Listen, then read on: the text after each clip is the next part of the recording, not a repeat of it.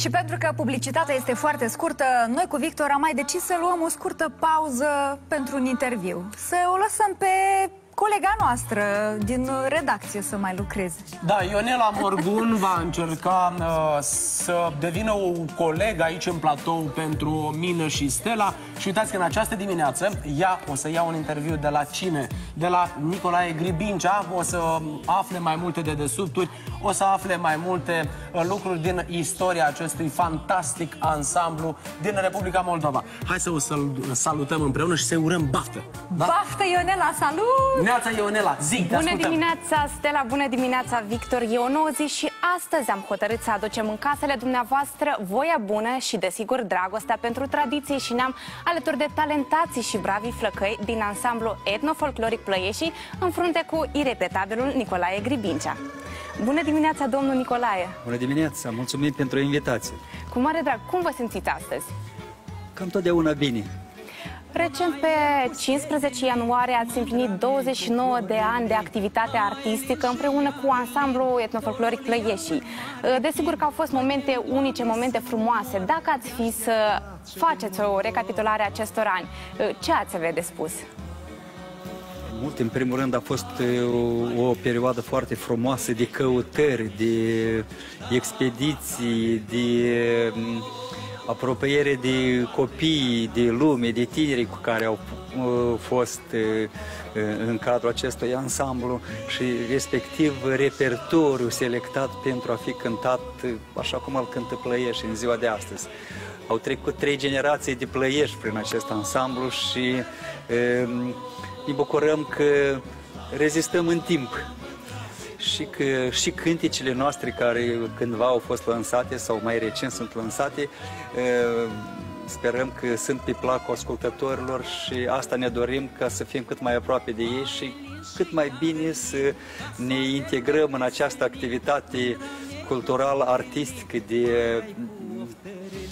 de a încerca să bucurăm uh, lumea cu materiale folclorice cât mai frumoase, cât mai valoroase, pentru că ne dăm bine seama, nu tot rezistă timpul, rezistă timpul tot ce este mai bun. Și atunci uh, suntem cointeresați pentru a veni cu niște mesaje foarte concrete, uh, avem nevoie de aceste cântici pentru a păstra memoria Așa. Voiam să vă întreb, toți acești bărbați, flăcăi, sunt încadrați în uh, joburi, studenție. Cum încercați dumneavoastră să-i țineți alături pe toți? Este o, o activitate bine pusă la punct. Avem repetiții, 4-5 repetiții pe săptămână. Deci au activitate, mai lucrează și în alte părți, dar uh, uh, și aici la Plăiești trebuie să fie disciplină, ordine, seriozitate și mult drag.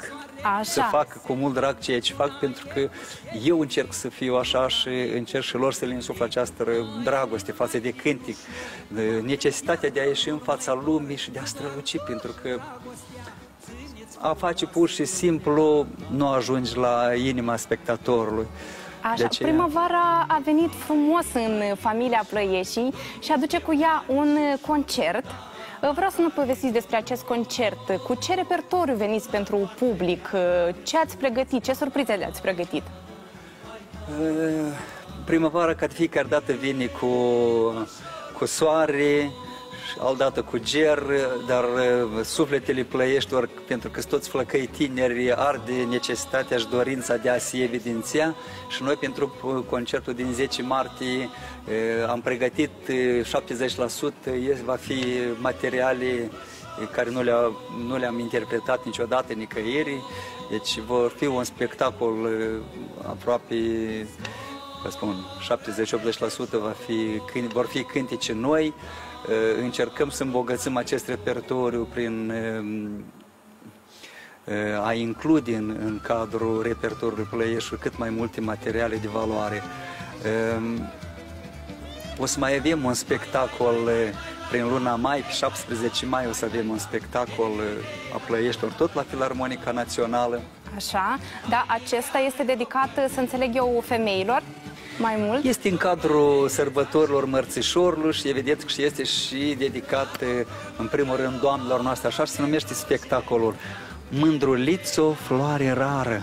Ce frumos! Eh, Cântici din lirica de dragoste cântate de plăieși pentru toate doamnele amatoare și iubitoare de folclor. Și concertul va avea loc uh, pe ce dată? Eh, Concertul va fi pe data de 10 martie, ora 18, Filarmonica Națională. Eh, Biletele au fost puse și online și la, în casă, la casele filarmonicii. Eh, S-au vândut foarte repede, eh, în jumătate de lună s-au dus toate biletele și asta ne bucură pentru că mm, sperăm să avem un eh, spectator al nostru care Un public pe da, un măsură. public pe măsură care uh, ne apreciază și așteaptă noutăți de la Plăieși. Domnul Nicolae, voiam să vă mai întreb, uh, tot repertoriul este foarte frumos și are o anumită tâlcuire. De unde culegeți aceste materiale? Uh, Plăieșii fac în fiecare an expediții pe teren uh, și este o sursă de inspirație și o, o sursă de a veni și cu noi materiale uh, într-o nouă, eu știu, uh, nou concept, într-o nouă ținut artistică, sperăm noi să fie așa, marca Plăieșii și evident că mai sunt și cântece care mm, sunt în limbaj uh, folcloric, dar uh, sunt și compuse de Nicolae Gribincea sau materiale din culegeri care le studiem. Uh, Această generație de plăieși este o generație așa mai școlită, Așa. cu băieți buni care mm, cunosc gramota muzicală, studiază literatura de specialitate și respectiv îmbogățim repertoriul nostru cu valori nestemate ale neamului nostru. Domnul Nicolae, eu vă mulțumesc pentru acest interviu foarte matinal și foarte călduros. Vă doresc în continuare realizări cât se poate de frumoase și înălțătoare alături de membrii ansamblului etnofolcloric Plăieșii. Ne vedem la concert! Mulțumim, vă așteptăm!